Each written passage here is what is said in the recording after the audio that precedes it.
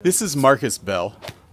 He is a coach from England, and this is him coaching in England. And I was so impressed by the way Marcus coaches, and I got to know him for the last couple years online that I had to bring him over to do some Be Better Golf schools because the way he teaches is so radically different. Push off the floor to get as much speed as you can.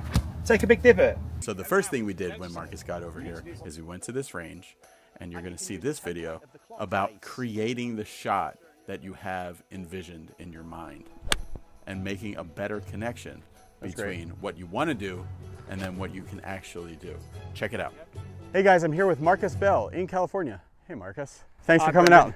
Marcus is coming out here if we're doing uh, Be Better Golf schools. But this video is just for Be Better Golf. We just did about two and a half hours, so like the first 60 or 70% of my golf lesson. We come on to some really cool things. If somebody has like a swing fault, you know, and you hear this from golfers all the time, like for 100 years I've been sucking it inside and throwing it outside and you can't get over it. So uh, how can we utilize the power of intentions to finally make the golf swing we know we're able to make?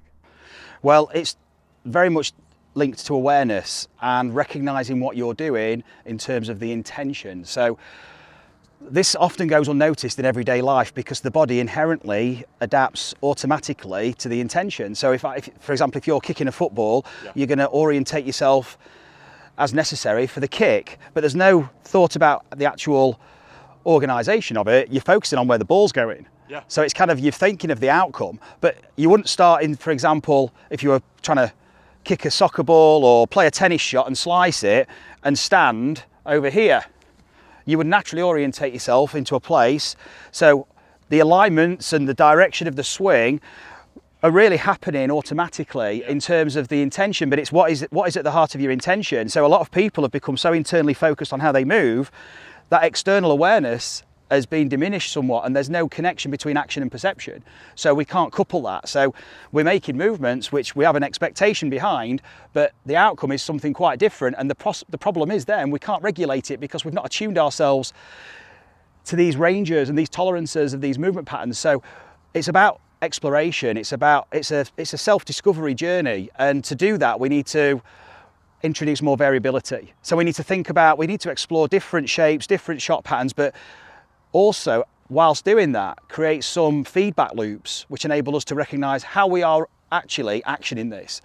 So we first of all switch our attention externally, then we can start to think about what's the body actually done and how could I actually move in a better way to make this movement easier to repeat or more efficient. So definitely shifting your attention externally. So throwing a ball, for example, you're thinking of throwing a ball, naturally the, the lead foot goes forward, the hand goes back.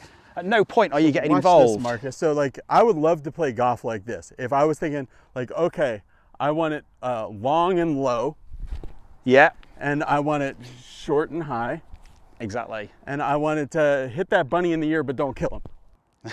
All three of those I was able to do within about three percent of what I was thinking. I mean, it, they were basically exactly what my intention was because I've been throwing forever. Do it with your left. Okay. So Backhanded.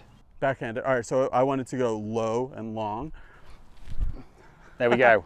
There we go. So there's no and there's no map for the left side. I wanted to go short and high. And golf's a double it's a two-handed sport. and then I want to hit the bunny. Not nearly as good. Yeah, yeah. Exactly. Yeah. So the map exists for the right hand, but we put the left in, and suddenly now there's some distortion. So that's what we're going to try to do in this video. We're going to be building a golf swing map specifically connected to my lesson where I am a under and on plane golfer that then runs a little bit towards first base Yeah. or so. And we want to get it more out and up and light and then make the whole thing go that way more rather than that way, which is super common for people. So I think people can get a lot out of this. Let's kind of skip to the end and pull out the stick and see, show some of the stuff we've been doing.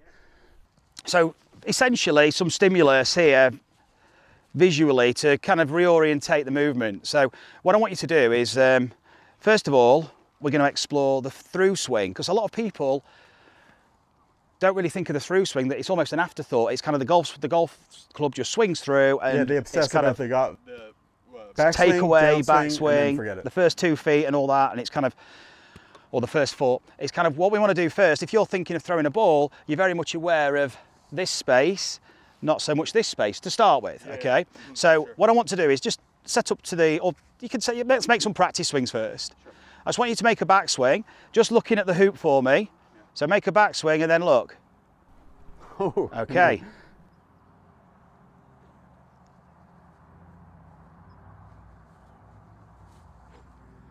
So we can start to differentiate between these, these areas.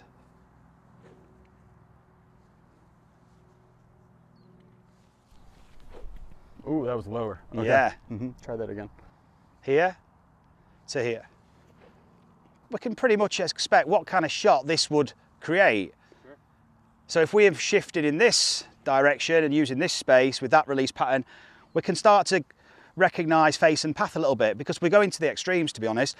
But we are going to talk about backswing because it is a, the backswing's preparing us. So now what we can do is actually keep that there and I want you to match the backswing to the through swing and just hold your finish. And just hold the finish. Okay, now just let's do it again, but let's make a half half a swing, Brendan. So I just want you to make half a swing and hold your finish. And hold it there. Okay. Stay where you are. You're going to start and stop from here. Get ready. Yep. Now I want you to swing back and through in this direction. Stay where you are. Stay in the finish. Mm-hmm. Now there. Okay, and now stay there, stay there, not yet. Now here. Okay. Yeah, you really make the connection between the backswing should match the intention of the the through. the whole motion and not only the direction horizontally but vertically so also the steepness so when i was going down there to the left you were suddenly starting to int- introduce more of a steeper angle of attack Sure. shifting the swing direction changing the path changing changing the impact dynamics so without thinking of the impact dynamics what we would do is take a divot as well so there's some interaction with the ground in a, in a way that is not going to be unfamiliar when we actually play a shot because this is going to happen okay so let's go again I cover you in mud here. yeah. So I'm going to move this, just a three quarter swing, just looking at this, and then look again. That's it. Very good. Okay. Okay, and what, what would that ball have done? Trap low and fade. a Okay, bit. let's do it. Let's see if it happens. Very good. Yeah, exactly. That was great. So when the, the divot gives you feedback now, mm-hmm. you're getting feedback from the direction the club was swinging. There's intention behind the movement, and you're starting to develop a pattern recognition, not just with the club but with the body. So you can start to appreciate how you're moving, the movement form you're making, the shape of it, to create that swing with the club for the shot you're in, envisaging. Okay. And that's been influenced by where this is. So Yeah. if I was to say on a clock face, so we can start to reference this in terms of a template. So we can go on the course, this will travel with you wherever you are. If that's 12 o'clock and that's six o'clock, we've, I've got a feeling of the direction I'm swinging in with a particular shot in mind. Yeah, I'm just so, gonna paint a picture for people here. So that would be 12 noon. Yeah, That would be six. yeah, So normally my swing is about 4:30 to uh, what would that be? 10 o'clock, yeah. right? So in order for me to feel that one that you just did, that would feel more like 1:30 to about seven. Exactly. And then, uh, so that would be this component of it, and then there would be a different component of, of the steepness too. Yeah, exactly, because we go up, up, up or down. All right. So what's the intention of the launch of the ball? It's just like throwing a ball. You're looking where you're going. Action follows vision, and it's hand-eye coordination in terms of the feel of the release. But you're looking where you're going. So you want the thing about golf is we're not looking where we're going. So we're looking down here, and we're going this way. It's like throwing a ball like this. Sure. Yeah. So you've got to really use the memory of the map to give you a very precise execution of the movement. So the follow through is so important because we're not going to be looking in that direction when we swing. So when we're making practice swings, actually looking where we're going and feeling, if you like, the path of the hands or the path of the club, the trajectory that you're you're moving Yeah. around the body with the club. So you can start to get a feel of the space you're using with an intention of the shot behind it and also the steepness.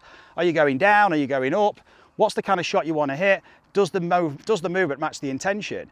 So we know typically, like you just explained, you go a little bit in, a bit round here, and you've had a, a lot of instruction and very aware of what you do, Yeah. you've got a, an idea of where you want to take your golf swing. What this is giving you here is a map to start to explore and start to shift as well. So you can, I would say, let's take a setup Okay.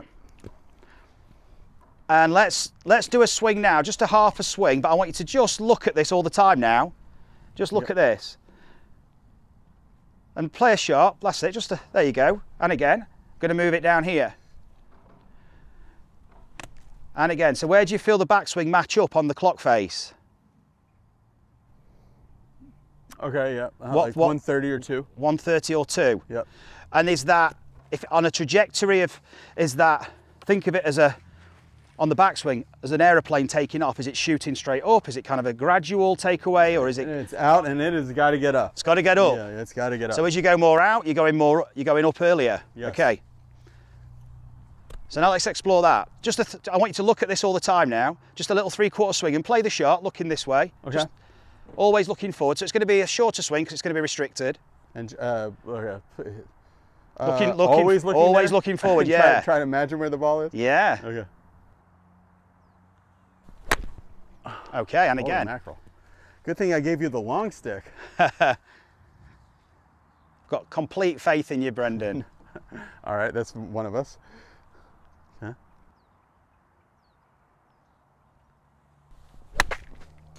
Okay. low Well cut. done. Yeah. Trappy. So this feels strange, but in any other form of your life, in terms of movement, it would be comfortable because you're looking where you're going. You Yeah, when you I threw that at the bunny, it was I was out there looking at Yeah. it. Yeah, yeah. Okay. So this is a, this is how we normally organise with vision. So let's have another go. Down here now. Oh yeah. It's funny because I'm starting to put two and two together where the more you go there, the higher and the more out it's going on the backswing.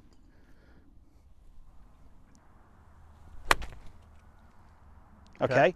Now have a go without looking forward. So now a normal shot. Same feel, a little shorter shot. Yeah. I'm going.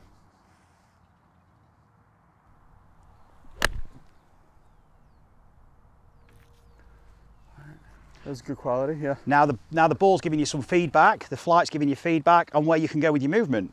Okay, yeah. So in terms of where the ball what where the Yeah. ball went, that's going to give you feedback in in terms of where you can go now with your movement and also the steepness of it. Yeah, on the way back, did the steepness match the actual direction of the swing going back? What do you mean? So did you swing? Were you trying to go? Were you trying to go out, but you just used the hands and not the club, or could you feel the club go out with you? Yeah. It didn't feel quite as light as it should, I think. Yeah. Okay, so there you're giving me feedback on the way to the club. That's how you're recognising where it is in space too. That was perfect. So let's go into a to space that you might feel fairly comfortable is drawing, but a low draw. Okay. So if I was going to do the start off with those, just looking at it. Yeah, Okay. I'll try to hit one. yeah. That's great. And again?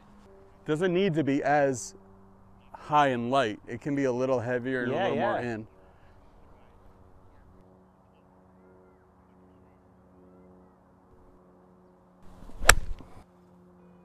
Shot. Really good. Yeah. The reason, if you guys are watching this wondering, that neither of us are wearing shoes, Marcus does GRF golf, and that stands for ground reaction force. Put in a comment something that would be funnier, a funnier acronym for GRF. and that, it'll be a good contest. What we were doing on the, on this is one of Marcus's training aids. That's one of Marcus's training aids. He's, and we have a whole bunch of. You just do a little circle around uh, George of all of our stuff. Just do like a little circle. GRF system behind GRF behind, Bren- system behind behind- Brendan. Yep. And then we were over here as well. And we've got a lot to explore this week. And then this was very important too and painful. That's why we're not no wearing pain, shoes. no gain. We have a whole lot more from this lesson coming out. Plus, we did another long video about lag. And then we did a huge three hour lesson with me that we filmed all of. All the raw footage from when Marcus was here is going to be coming out on the join button on the page below. Also, go over to GRF on YouTube here and follow Marcus's page. We have lots of cool stuff coming out. So make sure that you hit the subscribe button. That's the most important thing. And let me know what you think in the comments below. All right, bye.